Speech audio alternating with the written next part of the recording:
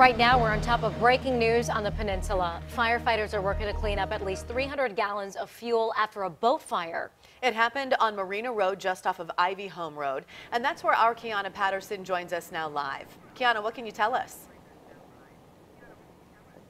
Katie and Laura, we're here at the the Blue Water Yacht Center here off of Marina Road, where as you can see, fire crews just wrapped up after they've been here for about five hours. They're working to clean up 300 gallons of fuel in the water. They say a boat reunite, reignited here around 6.30, and we were up on the pier when the flames started up again. A neighbor, Bill Knowles, said he heard the explosion around 3.30 this morning. He and his wife live just four boats away, about 50 feet, and he says he could feel the flames, and he says that the boat was fully engulfed in flames, and it's a 40-foot boat that was on fire early this morning.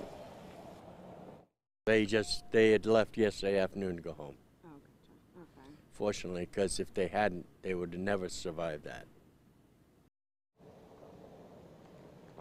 And we talked with Captain Joe Brown. He says no one was on the boat. And he says the top priority here was making sure that everyone was safe and also all of the other boats here at the marina weren't damaged. And they said that they were successful in that. Um, again, no one was hurt. No one was on the boat at the time. But he says no, they may never know what caused that fire because the boat did sink. For now, we're in Hampton. Kiana Patterson, 10 on your side.